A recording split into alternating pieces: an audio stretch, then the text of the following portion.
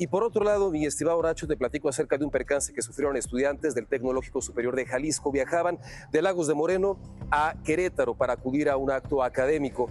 Lamentablemente, el autobús en el que se transportaban sufrió un percance carretero a la altura de Celaya, en el estado de Guanajuato. El saldo, 34 estudiantes lesionados y lamentablemente una de ellas termina perdiendo la vida. Gracias, eh, Ricardo. Nuestro más sentido pésame, por supuesto, después de esta tragedia.